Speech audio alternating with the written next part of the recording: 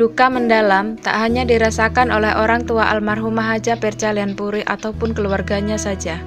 Kepulangan Putri Sulung Gubernur Sumsel Haji Herman Deru ini juga memberikan isak tangis banyak warga Sumsel, khususnya daerah Oku dan Oku Timur.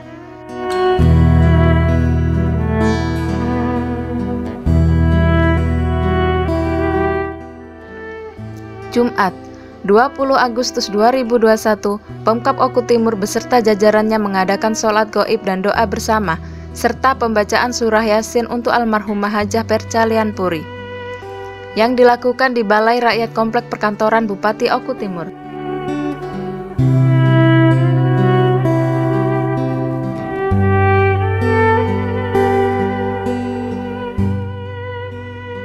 Sedangkan Bupati Oku Timur Haji Lanosin Hamzah selaku paman dari almarhumah diketahui sudah berada di Palembang. Begitu mendengar kabar tersebut guna menghadiri proses pemakaman.